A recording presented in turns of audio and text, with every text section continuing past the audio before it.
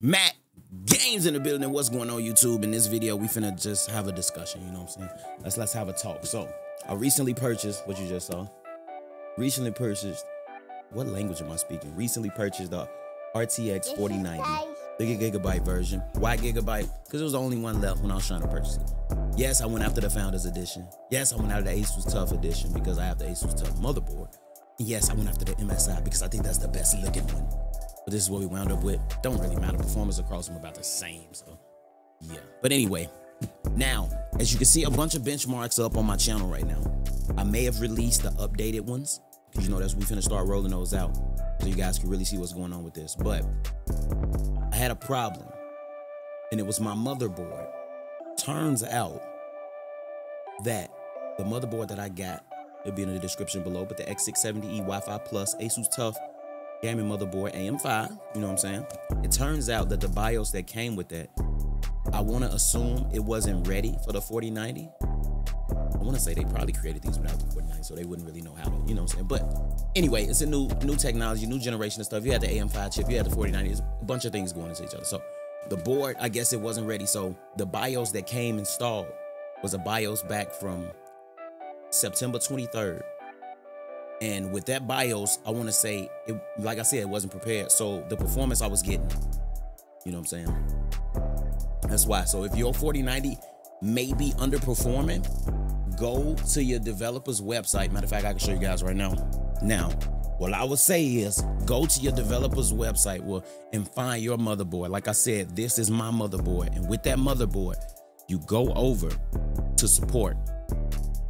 When you click support, skip the frequently asked questions. Drivers and utility, BIOS and firmware. As you can see, oh, they have another BIOS. I got to flash BIOS again. That's crazy.